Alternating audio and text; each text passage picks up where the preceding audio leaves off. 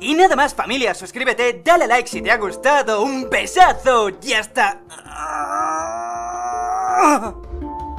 Bienvenidos a un día más a Cultura Chatarra, mi nombre es Crypto y el día de hoy quiero hablar de uno de los creadores de contenido que más me gusta, debo confesar. Si bien es cierto, a mí el estilo de contenido que suelo ver es un contenido más profundo, ojalá bastante filosófico, que no me importa que dure harto, de hecho lo agradezco, y que profundice sobre los temas y que intente experimentar lo más posible. Por eso tanto ContraPoints como Philosophy Tube son dos canales que los encuentro fabulosos porque caracterizan a diferentes personajes para llegar a la idea, hacen guiones absolutamente profundos y no es como se dice acá paja molida, como guiones huecos que parecen inteligentes, como pasa con Esquizofrenia Natural o Dayo, que tú los ves y dices, mmm, suena súper bien, pero si lo empiezas como a escuchar dos veces o a ponerle más atención te darás cuenta que ni Dayo ni Esquizofrenia dijo algo relevante en todo el video.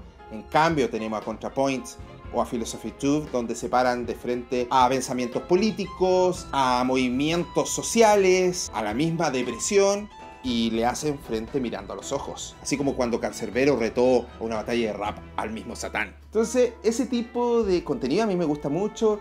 Me gusta en un nivel más bajo, trata de hacer algo similar, que igual está bueno, que Chal. En otro nivel un poco más bajo, un tío blanco hétero, y así. Pero son canales que igual me gustan. Igual los veo, por los cojones, por la entereza, por la profundidad, por los guiones, etcétera, etcétera. Y hay otro tipo de contenido que yo normalmente no veo. Los canales graciosos de comedia los veo muy poco.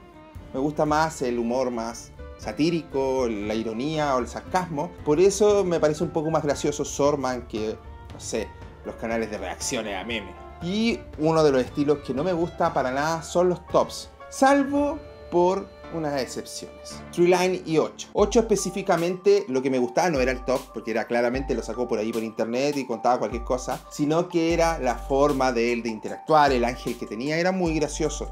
Y a eso le agregamos también el tema de que hizo una de las mejores series de top que existen, que es El humano retrasado y no tiene cura, que lo encontré bastante inteligente y además con el humor absurdo de 8 funcionaba bastante bien. El otro, ya entenderán, que es Treeline, su hermano. Su hermano tomó un camino más cercano al de Dross.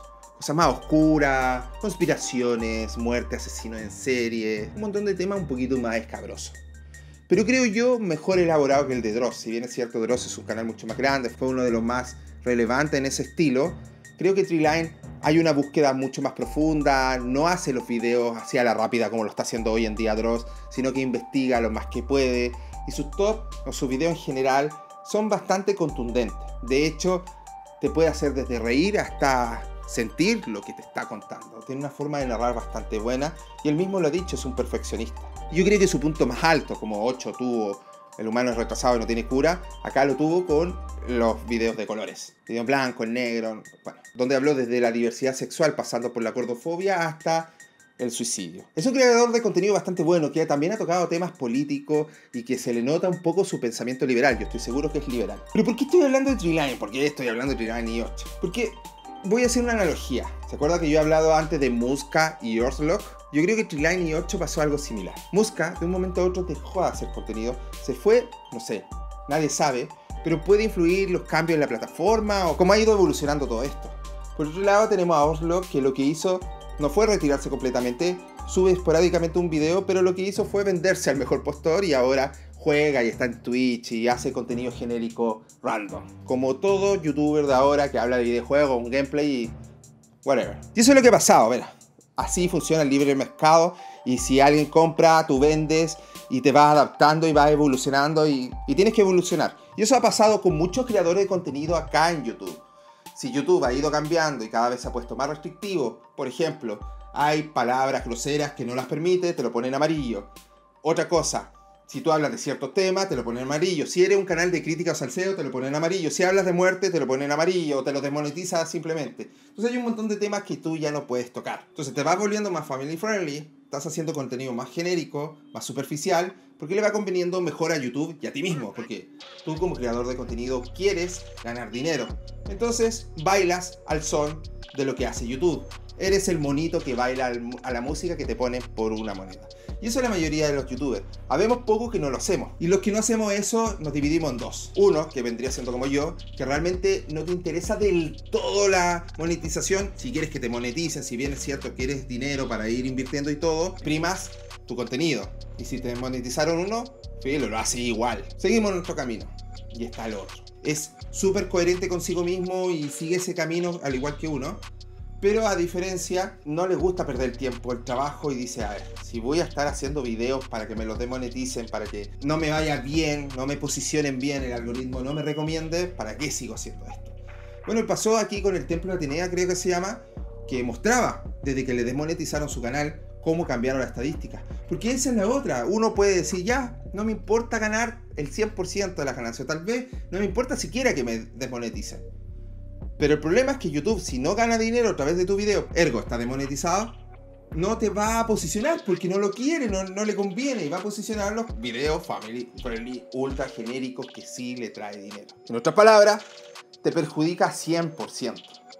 Entonces, no solamente no ganas dinero, sino que ya no te ve la misma gente, se empiezan a suscribir, los views bajan, te empieza a decepcionar, empieza a caer una ansiedad gigante. Que la mayoría de los creadores de contenido tenemos ansiedad. No irá bien con este video, no, a la gente le gustará, va a crecer mi canal, no va a crecer ahora que creció, me podré mantener. Bueno, eso pasa siempre. Nosotros los creadores de contenido siempre estamos pensando en hacer bien las cosas. Entonces esa ansiedad se le agregas de decir, me van a monetizar, le irá a parecer bien al algoritmo, a la inteligencia artificial que chucha sea de YouTube, o me va a simplemente quitar la monetización. Bueno, como ya saben, a los conservadores, a los canales más de derecha se le están quitando, ya derechamente, a los de derecha, derechamente, están quitando la monetización. Están censurando.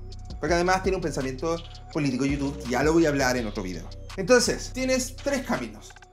Te vende al mejor postor, te vuelves bonito con los platillos y bailas y cantas al son de una moneda, que es como hace el 90% de los youtubers. Hacer ese contenido genérico que es lo que te hace... Veamos los, youtubers relevantes. Germán, contenido genérico. Rubius, contenido genérico. Dylan, contenido genérico. Y así largo, etc. Al final todos hacen lo mismo. Contenido genérico, poco divertido, videojuego, videojuego, videojuego. O se van a Twitch, o you know. Y se quedan ahí. ¿Y, para qué usan YouTube? Para subir ciertos extractos nomás. Suben ciertos extractos de las mejores partes y ya está. YouTube, parte dos carajos. Ya no inviertan el tiempo. Pero hay youtubers como Treeline o como yo mismo, como no sé, otros, que invierten esfuerzo en buscar, investigar, crear un, un guion, luego grabarlo, editar, que te toma harto tiempo. Entonces te empieza a frustrar. ¿Por qué hablo de todo esto? ¿A dónde nos quieres llevar? Bueno, muchos de nosotros tenemos, como dije, creadores de contenido que nos gusta y que suben tal vez una vez a la semana o dos veces a la semana. Y tú esperas toda la semana que suba para poder ver su contenido que está bueno. Y así han ido desapareciendo varios creadores de contenido y has tenido que bancarte con volver a ver videos antiguos porque ya no volvió a la plataforma.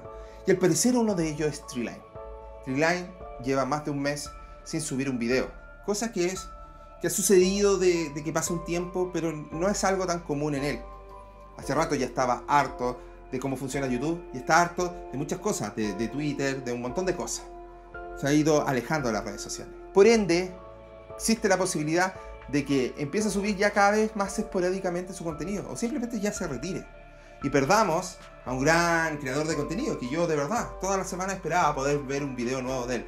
Son re buenos, están bien hechos, buenos guiones buena investigación, buena información. Lamentablemente YouTube en cierta manera, en pro, si, piensa en él nomás, en pro de seguir ganando dinero y potenciando las marcas, vénganse para acá, vénganse para acá, si ya estoy quitándolo el contenido que a ustedes no les gusta, y las marcas son súper quisquillosas, si es verdad, yo trabajo en publicidad, y sé que a las marcas no les gusta que su contenido aparezca relacionado a un montón, un montón, un montón de temas. Pero como dijo una vez Javi Oliveira, esto podría ser como por marca, la marca decir, ¿Qué tipo de contenido puede desaparecer y qué tipo de contenido...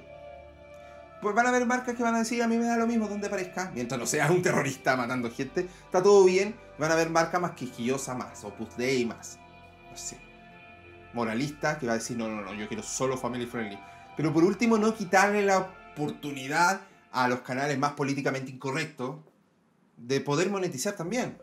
Y no que te salga de los huevos, de los cojones y llegar y hacer lo que quieres y demonetiza y chao. Porque imagínate, si tenéis canales de derecha que estás demonetizando, pero no existen marcas que les gustaría aparecer, no, le, no hay marcas que quieran venderle a la gente de derecha, porque gente de derecha también compra. Así que creo que es una pésima visión estratégica de marketing de YouTube. Pero volviendo al tema, lamentablemente están matando a nuestros grandes creadores de contenido. Están haciendo que se vayan. O que se conviertan en lo que siempre juraron vencer. Se convirtieron en lo que odiaban. Y se convirtieron en lo que nosotros odiamos. Así que prefiero mil veces que Triline se retire a que se convierta en un youtuber genérico más. Quiero saber su opinión.